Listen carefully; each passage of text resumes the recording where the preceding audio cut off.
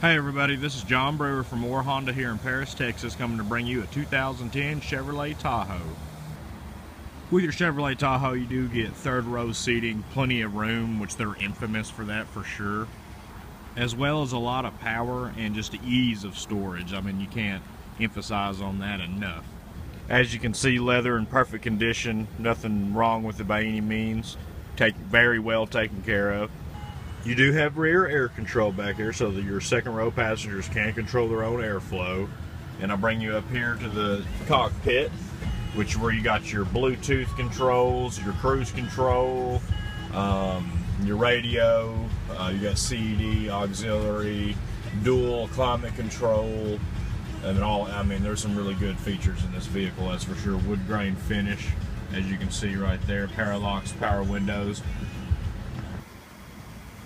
Well, this is the 2010 Chevrolet Tahoe. Um, there's an excellent price on it, mid-20s.